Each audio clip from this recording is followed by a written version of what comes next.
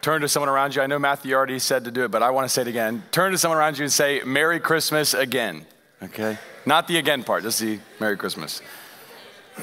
I apologize for the way that my voice sounds. I have that beautiful Blake Shelton, Josh Turner, Gaither vocal band, uh, deep tenor going on right now. Um, I'm dealing with a little bit of a cold, so you can excuse me if I have to sneeze or anything like that. I will try not to blow the speakers out when I sneeze or, or anything like that. So, anyways, if you do not know me, my name is Nathan. I am the Connection and College pastor here, and I have the honor of teaching one of these Advent series that we are uh, in, this Advent series that we're in, just Advent at Hope, as we are working on reflecting, reminding, and restoring the wonder of this story, season, and just of our faith as well. We're going to be touching on four different things throughout these teaching times. Last week, Pastor Mark talked about the wait, this idea that comes from when the last prophet speaks, and then that 400 year period where there's a, a, a silence and it seems like God is not working, and yet he talked through the genealogy of Matthew about how God works even when it doesn't look like he's working, and that we are to be actively waiting when we don't necessarily know what to do.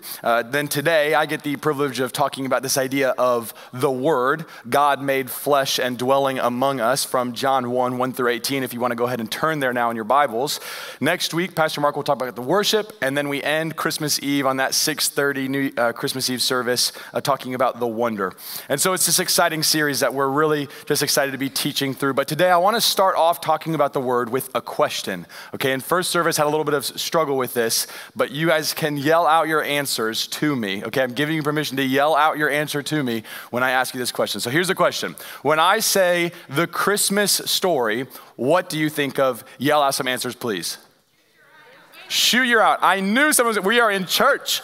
Okay, I was worried that somebody was going to talk about the movie Christmas Story and talk about leg lamps and a BB gun, but that, okay, we're in church. So let's talk about the church Christmas story. What do you think of? Go. Mary, manger. Thank you, Trinity. Uh, anyone else? Wise men. Come on, Cass.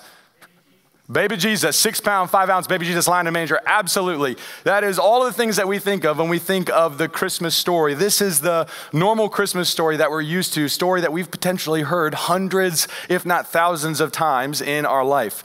If you're unfamiliar with the story, let me give you the most condensed version of this story possible. And that is that there was a young woman named Mary. She was betrothed to Joseph. That means she was going to marry him and she was a virgin. And one night, an angel visits her and tells her that she's going to have a baby. This is a problematic situation that she's pregnant at this point because she is a virgin, but that this baby is not just any ordinary baby, but this is, in fact, the savior of the world. Long story short, there's some unrest in the land that her and Joseph are living in, so they flee to this place called Bethlehem. They find a place to have a baby in a stable, a grimy place where animals were kept, and they put him in a manger when she has him, and there's a star above him, and it leads shepherds and wise men to him. This is the most condensed Christmas story. I encourage you to go read it in Matthew and Luke if you're unfamiliar with it. But this is the Christmas story.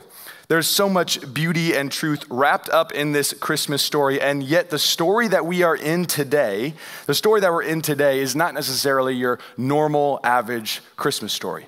John 1 1 through 18, John decides to focus on the Christmas story, yes, but not what was physically happening at the time when Jesus was born, but John focuses on what was occurring in the spiritual realm at the time of Jesus' birth. So, this is a different kind of Christmas story this morning. And so, I'm excited to, to teach through it with you all. Uh, but before we jump in, would you all just take a moment to pray with me and also pray for me as I uh, attempt to preach and teach the word? Let's pray.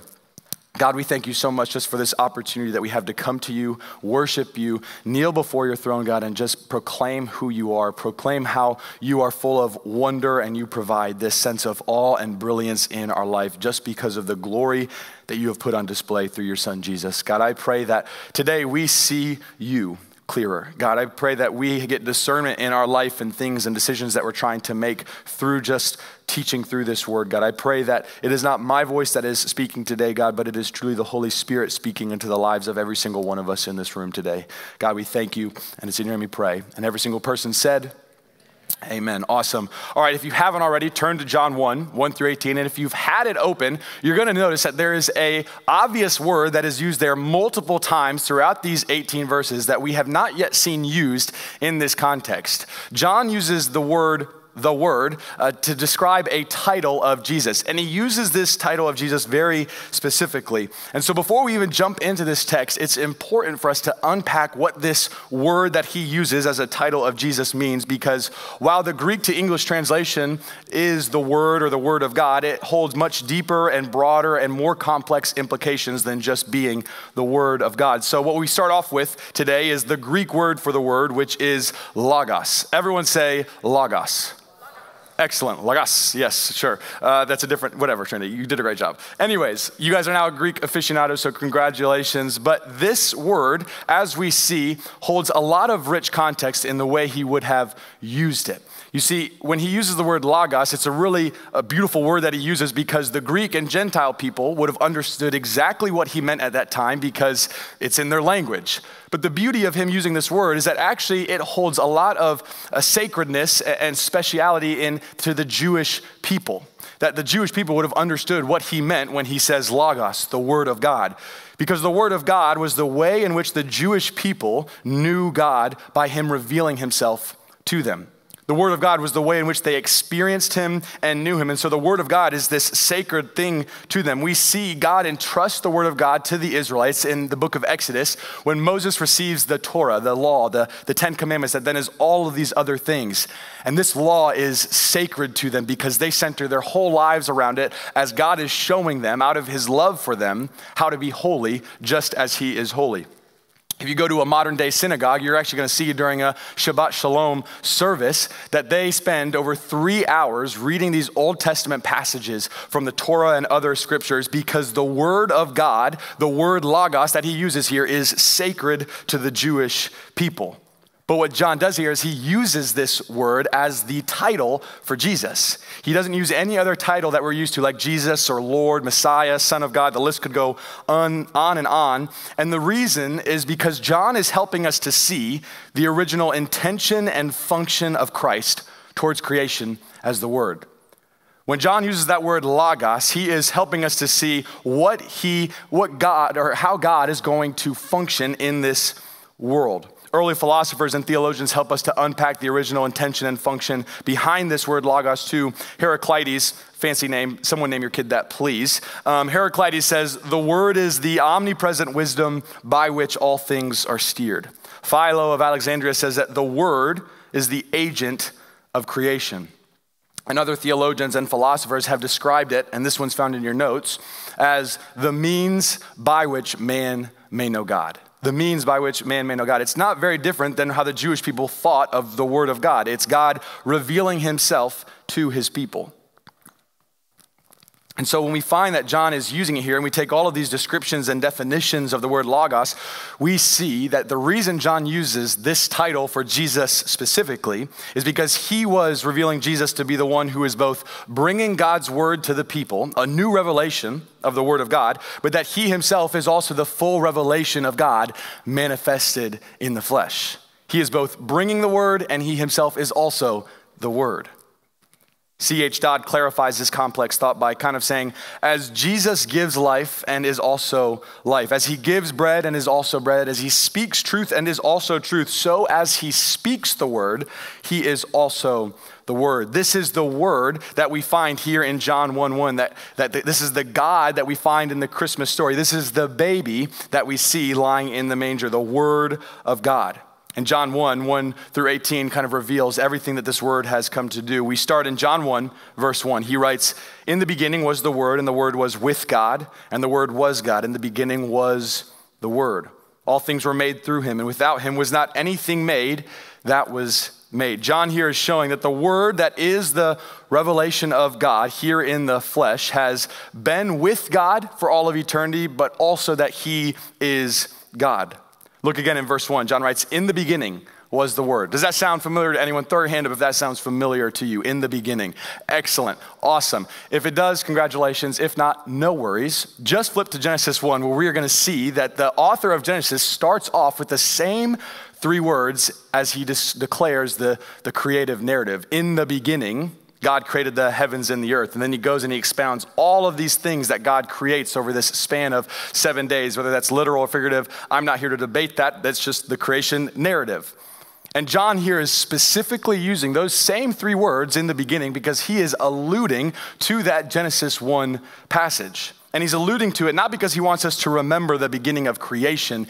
He's alluding to it because he wants us to remember what existed when creation came into being that the Word was with God. It is the claim that John makes that Jesus has been with God from the beginning. He shows this by actually saying in verse 3 All things were made through him, and without him was not anything made that was made. He's showing that the proof for the fact that the Word has existed with God is that all creation has been made through him. So, without the Word, if the Word doesn't exist with God eternally, then creation could never take place because the Word of God is the voice in which God speaks to both create and reveal. The Word is the voice of God in which God speaks to make the heavens and the earth in a just a snap of a moment, he, he speaks and, and creation comes. He is the voice in which reveals himself to his people, like the Israelites. So when we see in the Old Testament God speaking to the Israelites, it is the word of God speaking to the Israelites. The word has been with God from the beginning. But the word with God is not enough for us today. If we leave out the fact that the Word is also God, we run the risk of worshiping two or three gods. We run the risk of having a, a, head honcho daddy God, and I promise to never say daddy in a sermon, but I just did. But we have this head honcho Greek type of God that then has all of these sub little guys that are running around doing his bidding and his work. Or we run the risk of thinking that Jesus is just some sort of angelic being. But the reality that John says, and the fundamental truth that John reveals here, is that God exists as a Trinity. That God exists three in one and one in three. And I know whenever we start talking about the Trinity, people get sweaty palms or we start to check out because we think it's boring. But the Trinity is one of the most fundamental truths of our Christian faith today. The Trinity is one of the most important things for, under, for us to understand about this Christmas story. It's what helps to restore the wonder of this story. And because I love each of you, I provided a graphic for us today. Amen. Hallelujah, right? So, anyways, I believe that this graphic is a really helpful tool in us understanding, not perfectly, but kind of understanding how, ex- how God exists as three persons in one and one God in three persons. We see that the Father is God, the Spirit is God, the Son is God, that Son is also the Word of God, and yet the Father is not the Son, the Son is not the Spirit, and the Spirit is not God, and yet they are all God. It's kind of confusing, I get it, but this is the mystery that has been revealed to us both in this word right here and also the word being Jesus, Jesus Christ himself when he dwells within our hearts. And the beauty is that this Trinity, the Father, the Son, and the Spirit, each exist in holy, perfect fellowship with one another as one God. So you may be thinking, Nathan, why in the world are we talking about Trinitarian doctrine during a Christmas story? And one, I talk about the Trinitarian doctrine because the Bible does. And we can't just pick and choose things in the Bible to leave out or to, to include. We can't just preach on certain things and leave out other things just because they're a little challenging to teach on. What we have to do is we have to dive into the challenging texts that talk about the doctrine of Trinity or the doctrine of hell in our individual faith. There are going to be things that are hard to take in, understand, and digest. But we run the risk if we avoid those things by creating a weak and wobbly faith that does not stand the test of time. If we just get some sort of pseudo therapy from the Bible and that's all we're getting, and we're not seeing the living God presented to us here so that we can live by Him and follow Him more, then we're not really doing and following and being sanctified as He intended us to be. So we, one, talk about the Trinity because the Bible talks about it. But two, we talk about the Trinity because it is only because God exists, three in one and one in three, that God knows and has the kind of love to step into our life for our sake. Hear that today. This fellowship, because he is with God and also is God, that union, that communion, that friendship and relationship that's perfect and holy is the very reason in which God knows love, and the reason why the New Testament author says God is love. He is love because he exists as a Trinity. He has a heart for us because he exists as the Trinity. And third, we talk about the Trinity because when we realize that the Son is God, the Father is God, the Spirit is God, but they are not each other, then what we realize is that that baby lying in a manger at six pounds, five ounces, laying in a manger, that God, that baby is God Himself. He's not some sort of lesser deity. He's not an angelic being being manifested. He's not an agent of God or an angel of God sent to do his will. He is the manifestation of the glory of God in the flesh, both fully man and fully God. D. Blair Smith says that he becomes everything we are without ceasing to be everything that he is.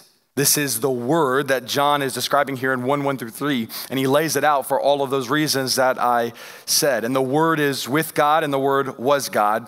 And God sends his word to this world to do what he has always done, and that is to reveal a way in which we can experience and know that triune God.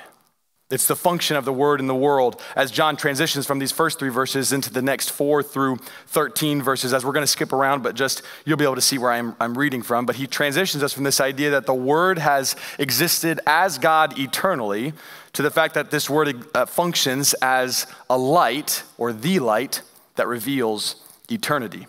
It's where we pick back up in the Christmas story in verses four and five when he writes, In him was life, and the life was the light of men. The light shines in the darkness, and the darkness has not overcome it. The first thing that John says that the light has come to do is in his work to reveal eternity to God's people is that he has come to extinguish, expel, and shine light on the darkness. The reason that God has to step into our life, the reason that we have this Christmas story and the death and the resurrection is because there's this thing called sin that exists when humanity fell that sin came into this world, and what sin does is it blinds us and covers us in darkness. It does not overcome us, as he writes, but it covers us in darkness so that we are blind to see that there even is a God. We're blind to see that there's even a pathway to God. We're blind to how we can be holy as how, how he is holy. This is the symptom of sin. Romans 1:21 explains our condition by saying, "For although they knew God, they did not honor him as God or give thanks to him, but, be, but they became futile in their thinking, and their foolish hearts were darkened." Ephesians 4:18 says, "They are darkened in their understanding, alienated from the life of God because of the ignorance that is in them, due to their hardness of heart." Our human condition is that we are covered in darkness fools trying to find our way to God, not even sometimes recognizing that there is a God, not living our life as if there is a God because of the darkness that is around us. What we need is a light. And I want to take a moment then to pause and talk about one of the hardest parts of Cassie's and my marriage so far when we're talking about the idea of this darkness and this light. Let me take a quick sip. And that is going to the bathroom in the dark. Okay, I know you guys were probably expecting something way more serious, but this is serious to me. So hang on, and this will apply, I promise. Okay, before you're married, right, when you had to go to the bathroom in the dark, you can just flip on the lights, walk to the bathroom, turn on the bathroom light, not worry about how loud the fan is and it's gonna wake up someone else. You can just do what you need to do, get back to bed, and it's just like that. But when you get married, you now have to care for someone else and think about someone else. Now, I do have a friend who just flips on all the lights and he does not care that he's waking up anyone or anything because he says he's got to go. But for me, the person that I married, when she is asleep, she is asleep, right? Like you do not want to wake her up when she is sleeping. The only things that can wake her up are her alarm and God Himself. Those are the only two things that are allowed to wake her up. If you wake her up in the middle of the night, it would be like standing behind a horse and smacking it as hard as you can you're gonna get kicked across the room. Okay, that's just what happens if you wake her up. And so, what I have to do is I had to go to the bathroom in the dark. And there are a lot of obstacles. The first is there's my dog that likes to lay right beside me because she's cute and she loves me. But I can't tell if she's there or not sometimes. So when I wake up and I have to go to the bathroom, I kind of just, you know, reach my foot over and I'm just like trying to feel gently for her because I'm trying to figure out where she is. And no matter how light I touch her, she is going to react as if the ceiling is coming down on her, right? She's gonna jump up, jump back, and sometimes give a yelp. But the funny thing is that our dog also knows not to wake up Cassie. So both of us just instantly freeze. And my dog's sitting there going, I don't know if my dog can pray. Uh, that's a whole other conversation. But if the dog could pray, she would be praying in that moment just like me. We wait for Cassie, kind of like adjust, and she rolls back over and keeps sleeping. And I keep on my journey, and my dog goes back to sleep. And my next obstacle are the things that are laying on the floor. Now, we're not messy people, there's just some things that lay on the floor. And I don't know if you're like me, but whether something is five inches away or 10 feet away, my foot will find a way to just kick that thing as hard as possible. And whether you are the most machoest man or woman or the weakest person in the world, stubbing your toe, I dare say, is top five in the pain scale because I, yeah, it just feels like a hammer is coming down your toe. So that's my second obstacle. All these things. And then when you do stub your toe, she's asleep and we live in an old home, so if I start going like this, you know what you normally do to get rid of that pain, our whole house starts shaking, right? And so we were worried about the foundation and all that stuff, but that's a whole different conversation. And then our final obstacle, and that is normally when you get to the bathroom, you can close the door and then flip on the light. The problem is our bathroom doesn't have any doors on it right now. So I'm just going to the bathroom completely in the dark, and I'm having to make sure that everything that needs to be where it needs to be is where it gets to be, if you catch the drift. And so, what I need in the midst of all of this is the same thing that we need in this world. Told you I'd bring it back, is a light. As I was uh, actually asking Pastor Mark's permission to share this story uh, earlier this week, he actually recommended a toilet bowl halo light uh, for the bowl. I didn't know this existed, but it is now on my Christmas wish list. Absolutely. Amen and hallelujah for that. And it's the same thing. We're walking in darkness with these obstacles around us. We don't see what we're aiming at, metaphorically speaking. We don't see what we're aiming at or anything like that. And what we need is a light. Not a toilet bowl halo light, something a little bit more powerful than that. I think of the Psalms when he says, Thy word is a lamp unto my feet. Thy word is a lamp unto my feet, revealing the ways and the steps in which you are taking. Christ is this word manifested in the flesh. So if we are following him, if we are striving to be like him, if we are living by the Spirit, he is a lamp unto our feet. It's this beautiful thing that he functions as a light that reveals the steps in which we are to be taking. But he also, as this light, functions as a second thing because this light is no longer just shining for one people, this light is shining for all to see. That's where you pick back up in verses 9 through 13, and we're going to skip a couple, so just hang with me. But it says, The true light, which gives light to everyone, was coming into the world. He was in the world, and the world was made through him, yet the world did not know him. He came to his own, and his own people did not receive him. But to all who did receive him, who believed in his name, he gave the right to become children of God. That this word has come as a light to shine, not just for a specific people, but for all to see. But the problem for me that I find is that this text kind of shows that he says he came to his own, and his own people rejected him, and then he went to the world. So my question is the same as probably when Paul writes in Romans 1, verse 16. He says, For I am not ashamed of the gospel, for it is the power of God for salvation who believes, to the Jew first, and also to the Greek. It's a common theme we find throughout the New Testament that it is this message for all who receive it, and yet he comes first for the Jew and then the Gentile. So, what is, is John and these New Testament authors, are they saying that God came only for the Jewish people, but when, then, when they rejected him, he looked around and he said, Well, who else we got, right? Who else can I help and, and save, right? Last week, if you haven't listened to it, please go listen to Pastor Mark's message as it kind of reveals a lot more about this idea that we're talking about right now but we saw that the Gentile people were never an afterthought to God. God always intended to come to the world. And so, what we see here is actually a really beautiful aspect of John's Christmas story that helps us to do what we're trying to do in the season, and that is to restore this wonder of what God did in the birth of Jesus Christ. That there's this truth that while there is neither Jew nor Greek, slave nor free, male nor female, but we are all one in Christ Jesus, God chose to honor his chosen people by coming to them first while simultaneously coming for the world. It's a small little tidbit of this story that is not just some little geeky nerd out moment, but it's something that adds so much value, truth, and wonder to this story. In Genesis 15, there's something called the Abrahamic covenant that is made, where, where God actually upholds both ends of the covenant, promising that Abraham's offspring will number more than the stars and that he is going to be their God and them his people. And we see time and time again God uphold this covenant agreement on both ends when the Israelites are rejecting them and saying that this dude, this God doesn't care about us, he's never here for us, when he's the one who parted the seas and he's the one who hit a staff on a rock and water spewed out, and all these crazy things that, that they have witnessed time and time time again, the Israelites reject God, and yet God, because He's made this covenant and established this, what we call the Old Covenant, He upholds it and He continues to be their people and them His. And the beauty of this is that when it comes time for him to come into this world and make a way for all believers, when he's about to set up a new covenant that would include this people in it, he doesn't just forget about them and say, Well, you're including this, so you'll get it. He actually honors them by coming through them and to them. God establishes this new covenant through the line of the old covenant. It's this beautiful little tidbit of this story. God comes to earth as the Word from Abraham's line. In genealogy of Matthew, as we touched on and, and looked through last week, we see that while it is an imperfect line to Jewish standard, it is still saying that Jesus is born into a Jewish family as a Jewish man. And for this and for the Jewish people, this is a high honor to have the Savior of the world come through them. It's God fulfilling one prophecy while creating another for the whole world that includes them as well.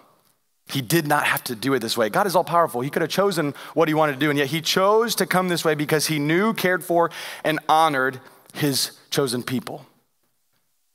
He cares and is involved in the most small details and corners of our life. It's this beautiful truth that we see that he's not just some massive God that's just bulldozing his way through each of our lives, using us as pawns or pieces. He's not just some clockmaker who sets it, makes sure the massive things are going to work, and then he lets everything else run smoothly. No, he is working and is intimately involved in every single aspect of our life. He's involved in the big things of our life, like God, who should I marry, and what God should I, or what job should I take, and where should I settle down? And he's involved in the small moments of our life, like God, where are my keys? God, please don't give me food poisoning because that chicken was super suspect from, from uh, well, I've gotten food poisoning from Applebee's twice, so I refuse to go there ever again. But that's a different story. He cares about the small and he cares about the big and everything in between. He cares because he has chosen and come for you. God is not a small God to where he would get offended if you bother him with these things because he's too busy. God is out of time. God has time for every single aspect. He wants you to invite Him into every single aspect of your life and your soul. So never think that you can't bother God with something because it's too small. God wants all of it because He has made a way for you to be His children. My uh, nephews, one of them is, is five, and he seems to think that I, I, guess I am his, I don't, he just seems to think that every single thing is worth sharing. I don't know if you know toddlers or have them, but he'll come up to me and he'll just start sharing every single tidbit of his detail. And for me, because I'm an imperfect human, I'm looking at my watch like, when is he gonna stop talking? Because I don't even understand what he's saying really right now. But he goes to his mom or his dad and they're sitting there going like this, oh, really? Tell me more about that. Tell me more about Jimmy from preschool that you played with today that I've never met. And I don't think there's a Jimmy in your preschool class, but that's okay. Tell me about it. Tell me about the bug that you just found, and I think it's in your brother's pocket or something, right? There, there's all these things that he shares, and if it's with me, I don't care about it. But if it's with his dad or his mom, they're soaking it up. This is our Heavenly Father. He soaks every aspect when we want to share something with Him. When we go to Him in prayer, whether it's car keys or grief and depression and anxiety, He cares. And it's revealed in the fact that God made a way for the whole world, still upholding that covenant that He made with them, but He decided to go the extra mile for these chosen people that He chose thousands of years prior by coming through them and to them first. Don't get this twisted. None of this means that the Jewish people are held higher than the Gentile, that they have special pass or priority in the way in which they are deemed righteous or that they are saved. Every single one of us, Jew, Gentile, everyone, is going to experience, if they believe in Jesus Christ, the covenant blessing that is eternal life with Him in a relationship with Him. When John writes that we have the right to become children of God through belief in Him, it is this new covenant that is established to him. So now, for the Jew and the Gentile, for you and for me, it's no longer what family you're born into. This salvation cannot be handed down from generation to generation. It is not by the will of man or the will of flesh. You cannot earn this salvation. You cannot work your way towards this salvation. It is only by God and through God, in belief in Jesus, that you are deemed and made his child. It is the new covenant that he has made. It is the work of the word in the world as he sheds light on a new path and gives life, just as a light would give life to plants and other things to all who believe in him.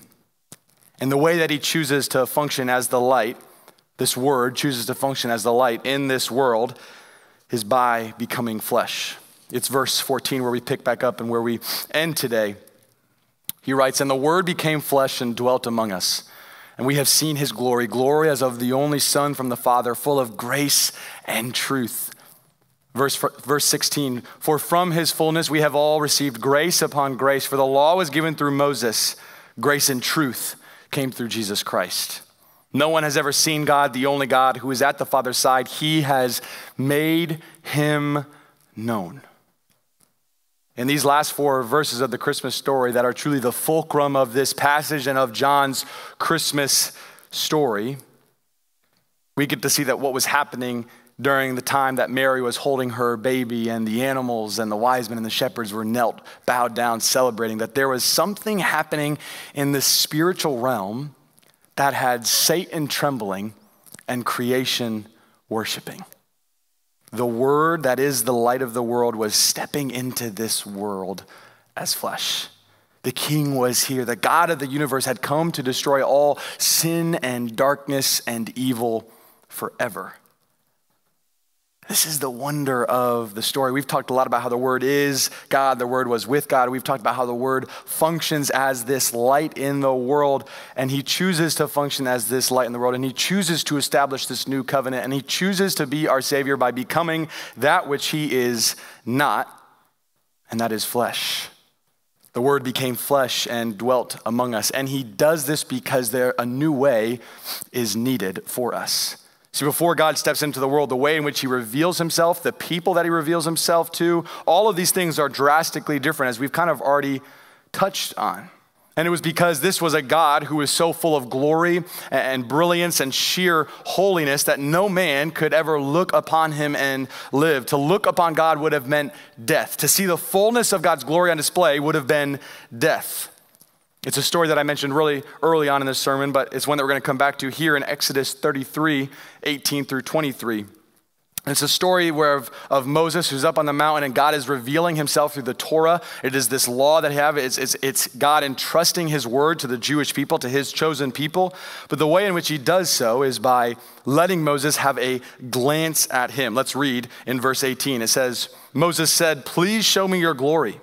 And God said, I will make all my goodness pass before you and will proclaim before you my name, which is the Lord. And I will be gracious to whom I will be gracious and will show mercy on whom I will show mercy. But he said, You cannot see my face, for man shall not see me and live. And the Lord said, Behold, there is a place by me where you shall stand on the rock, and my glory passes by. When my glory passes by, I will put you in a cleft of the rock, and I will cover you with my hand until I have passed by. Then I will take away my hand and you shall see my back, but my face shall not be seen. To look upon God would mean death. It's why they had a tabernacle. It's why they had a, a, temp, a temple. It's why they, that God was separate from us because to sit and to be and to dwell and to look upon the fullness of the glory of God would have meant death. So God had to reveal himself into ways in which we could manage, almost small, bite sized ways, if you want to think of it that way. Yet John writes, The Word, God Himself, has become flesh and dwelt among us. That God is now dwelling. That, same, that word dwell is the same as that idea of the tabernacle in the Old Testament. So God is no longer sitting in a temple confined there, but He is dwelling in and among us as the Word made manifest of God. So that when we look upon Christ, we see the fullness of God. And if when we see Christ, we see the full glory of God, how much more is revealed to us than what was revealed to Moses? Moses got a glance at God's back while he was leaving. Moses got the leftovers of God, right? And yet that was still one of the greatest revelations of God's word. It was him entrusting him with this word.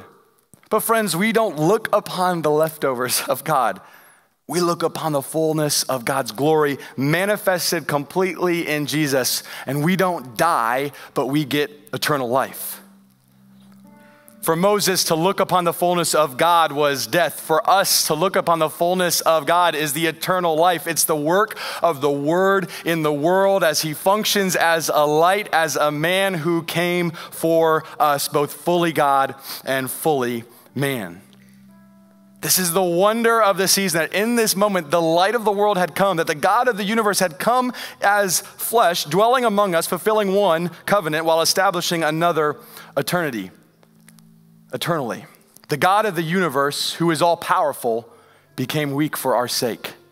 The God of the universe, who is infinite, became finite as a man for our sake. The God who is independent and does not need anyone became dependent on a young woman named Mary as she held him and, and fed him and, and, and helped him grow. This is what I love about John's version of the Christmas story, that he cuts through the familiarity of this text. For me, and I don't know if anyone else can resonate with this, but for me, as I hear year after year and read this story year after year, it kind of starts to build this apathy towards this story that it's just some cute celebration of a baby boy come that would one day be our Savior, rather than recognizing it for what it is that the God of the universe became that which He is not. Understand, the God does not have to become. You and I have to become because we are imperfect and incomplete. We are on this sanctification journey. We talk about that a lot. We are on this becoming journey. It's the dirt road of sanctification that we are on, and yet God simply is. And yet, even in the midst of that truth, he became that which he was not, and that is flesh, out of the love that he had for us that was rooted in his fellowship with the three persons in one and one in three persons. This is what we celebrate in this story. This is the wonder of this season. And I pray that this is re- re- um, refreshed and restored to us as we get to look upon the full revelation of God in Jesus. We get to look upon this eschatological end time fulfillment in Jesus, that we look at our salvation found solely in Jesus in the form of a baby lying in a manger with animals around him, a star above him, wise men in front of him, and a mother comforting him. There is God, became flesh, dwelling among us revealing himself fully to us so that whoever would believe in him would not perish, but have eternal life, inexhaustible grace, and an unbreakable relationship with Him. We get to celebrate that, celebrate that today with, with baptism. We have two wonderful kids who have made that commitment, who have believed, who have taken this new covenant through, made through Jesus, and now they're believing Him. So we get to celebrate that in a moment. If, if you are involved with that baptism or need to go pick up your child, you can be dismissed now to do so but it's something that we have to focus on this wonder of the story that God became flesh, not just in, in this season and four weeks, but something that we should come back to and reorient our minds and to refresh ourselves with every single day of our lives, because this shows the heart of a God who cares deeply and who wants to make a way for a people. Let's pray. God, we thank you so much for this truth God, that you have become that which you are not. God, it spent two weeks preparing for this message, and yet that's still not enough time to wrap my head fully around these truths, to wrap my head and to sit fully in the wonder and awe of who you are and what you have done and how you decided to accomplish it. God, we will spend a lifetime pursuing you, attempting to live by your Spirit we will spend a lifetime trying to understand the mysteries that you, you have revealed to us through your word, both scripture and your son, Jesus. God, we will spend a lifetime being sanctified. And the only reason we believe, the only reason that we can spend a lifetime doing that is because of what you have done through the coming of baby Jesus.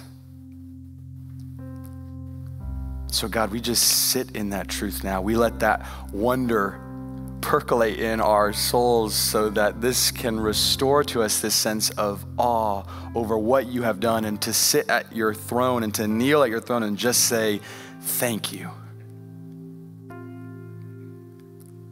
God, that when we get to sit in your presence, the first thing that we recognize is how holy you are and how unholy we are, which then creates this gratitude towards you for what you have done. So, God, I pray that by the power of your Spirit, you restore this sense of wonder, not just today, not just this week, not just this month, but in our life so that we can follow you with our whole heart, mind, body, strength, and soul. God, we love you. We thank you. As we pray.